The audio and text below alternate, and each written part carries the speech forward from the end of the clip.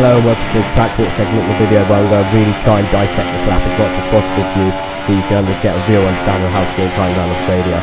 So you're coming down to turn 1, brake at the 100 metre board, turn in at the 50 metre board, using all the curb on the inside, short shift up to 5th, short shift up to 6th as well, use up all the truck on the exit. And coming down to turn 3, we'll be braking at a black board on the top left hand side of your screen there, so we're slowing down the video slightly so you can get an understanding. So you don't want to be clipping that curb on the inside. I do.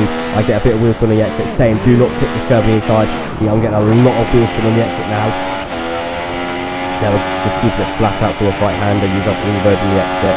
He's coming up. Just use that black board and top left hand side of the again. Down to third, up to fourth, up to fifth. A lot of wheel spin on the exit. I do want to try and avoid that at all costs. It'll probably cost you a little bit of time there.